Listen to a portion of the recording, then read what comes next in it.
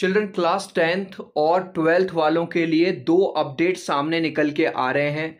और वो जो अपडेट है, वो क्या है, बहुत जल्दी से बिना टाइम वेस्ट किए बता देता हूँ। पहला अपडेट तो ये है कि भाई क्लास टेंथ का रिज़ल्ट जो है, वो क्लास ट्वेल्थ के रिज़ल्ट से आ रहा है पहले। क्लास टेंथ का। आई नो कि बहुत सारे बच्चे क्लास ट्वेल्थ के उदास हैं, गुस्सा कर रहे हैं कि हमको कॉलेज में एडमिशन लेना है, स्टेट बोर्ड वालों ने एडमिशन ले लिया, हमारा एडमिशन नहीं हुआ है।